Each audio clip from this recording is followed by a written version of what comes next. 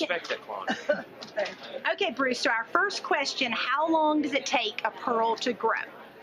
Depending on the environment, I'll say. Okay. Um, where the where the shell grows, if it is um, high lime, high calcium content flowing through the water, pearls grow rather fast. Now, when I say fast, I mean maybe one mil to two millimeters a year, Okay.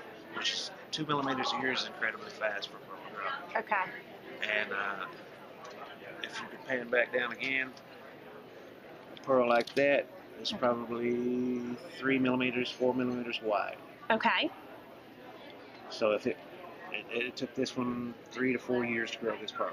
Okay. Three, Maybe a little more, maybe a little less. Okay. Okay. But it all depends on the conditions, depends on the minerals in the water. She's talking